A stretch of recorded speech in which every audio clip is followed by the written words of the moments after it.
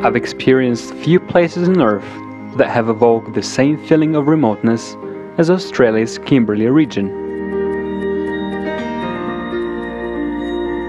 I will never forget my first trip down the King George River, a 15 kilometer zodiac cruise in the shadow of the Kimberley's iconic red sandstone cliffs, which rose like giants on either side of us.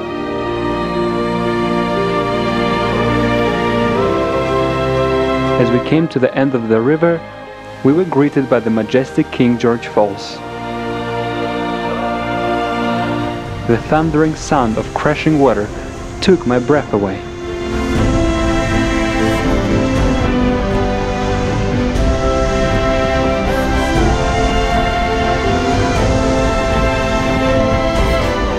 And of course, the best part of the experience, an invigorating freshwater shower. In that moment, I reconnected with Mother Nature.